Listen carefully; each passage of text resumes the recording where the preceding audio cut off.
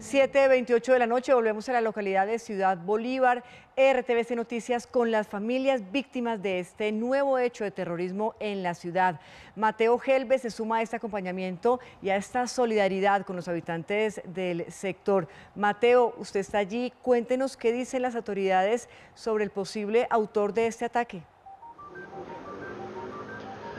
Patricia, en RTVC Noticias seguimos por supuesto acompañando a la comunidad, somos el noticiero de todos, el noticiero de las regiones y por eso estamos aquí haciendo presencia luego de este lamentable atentado terrorista y justamente me encuentro con los vecinos del sector, escuchemos las voces de ellos antes de responder a su inquietud. Me encuentro con una de las vecinas del sector que vive aquí nada más, ¿cuál es su nombre? María Elena Carrillo.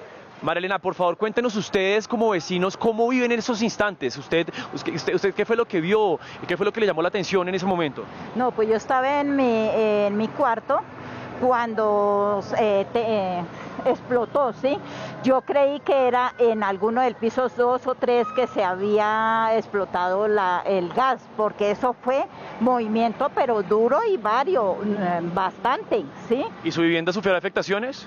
sí, se corrió porque la teja se, se dobló y en el baño la teja que es de plástico se rompió yo vuelvo con usted, pero Patricia, usted estaba pues hablando de otros de los grandes interrogantes de este ataque terrorista que tiene que ver pues con la autoría de los hechos. Pues eh, las autoridades se encuentran analizando unos videos publicados por el Frente 33 de las FARC, de las disidencias de las FARC, que opera en norte de Santander. Recordemos, su cabecilla es alias John Mechas y pues presuntamente este sería el, el responsable de este ataque terrorista que se presenta en el sur de Bogotá. Justamente vamos a analizar el prontuario de este criminal y también la búsqueda de las autoridades por dar con su paradero. Veamos. Javier Alonso Velosa García es conocido como alias John Mechas. La policía dice que lleva 25 años delinquiendo en la antigua guerrilla y hoy en las disidencias 33 de las FARC.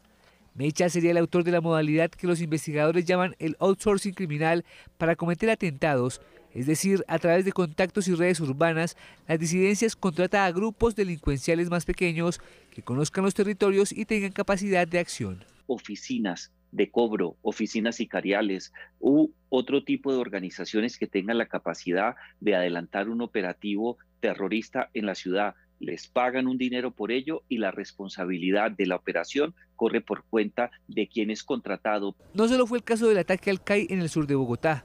En el atentado a la pista del aeropuerto de Cúcuta que dejó dos muertos, el mismo frente al mando de John Mechas utilizó la misma estrategia, orden a distancia. ¿Cuál le permite, de un lado, mantener una distancia eh, que evite su judicialización y del otro lado, eh, manejar un portafolio eh, de actividades delictivas muy diverso. John Mechas es buscado con circular roja de Interpol y Estados Unidos ofrece una recompensa de hasta 5 millones de dólares por información efectiva que ayude con su captura. Las Fuerzas Armadas creen que alias John Mechas está en territorio